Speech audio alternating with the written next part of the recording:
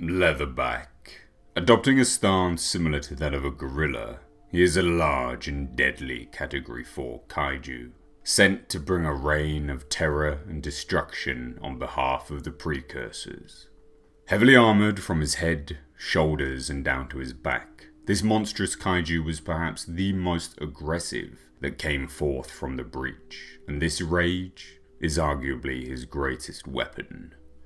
Leatherback walks similar to a gorilla also, and adopts a similar basic fighting technique, using his mace-like hand to club and batter his enemies into submission. Along the back of his knuckles, however, Leatherback has an armor plating strong enough to even smash through Jaeger armor.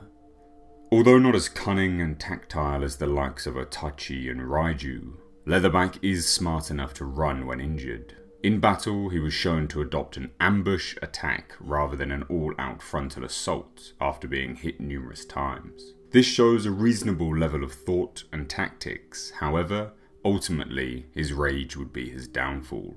The beast differs greatly from his Earth-based likeness, in that he has 6 eyes and 14 bioluminescent tendrils on the top of his head, when he becomes enraged and agitated, the tendrils noticeably become animated and move to display this, not unlike Earth-based animals.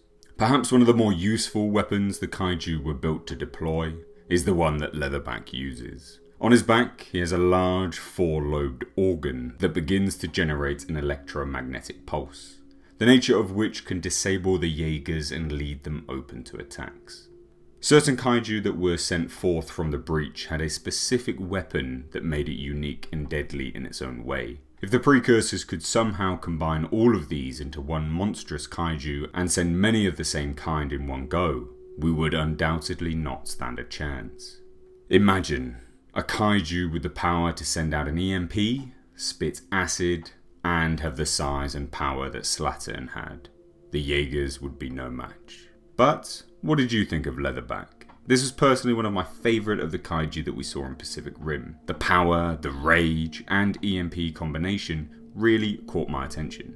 But I want to ask you guys, what combination of powers would make the ultimate kaiju to face off against the Jaegers? And do you think we will see that in Pacific Rim Uprising? Let me know your thoughts down below in the comment section. And moving forwards, for all your Pacific Rim and Kaiju content, stick with me, Mr. H. And don't forget to hit that subscribe button to stay notified of all my future content. If you did enjoy this video then please consider leaving it a like as it does help the channel out. I've been Mr. H and until next time, I'll catch you in the comment section.